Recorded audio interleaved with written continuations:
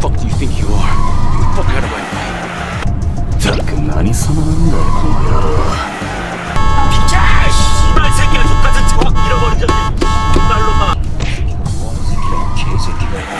人气韩剧黑暗荣耀除了宋慧乔的精彩复仇剧情，片中反派们凶狠的脏话连发技能更是让广大观众留下深刻印象。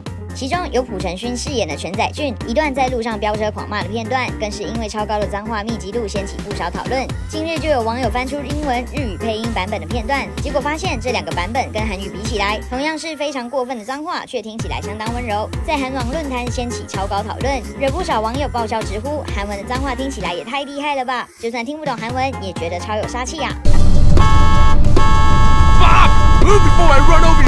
Car, you stupid motherfucker! Move! Move your fucking son of a bitch!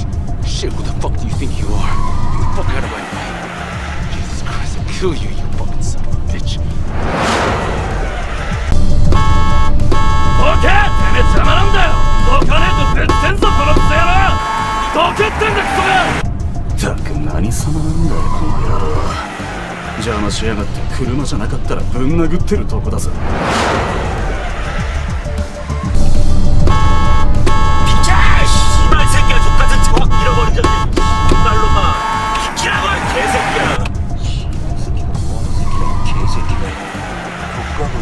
아, 씨발놈. 확 아, 뒤지고 싶나 이 개새끼가.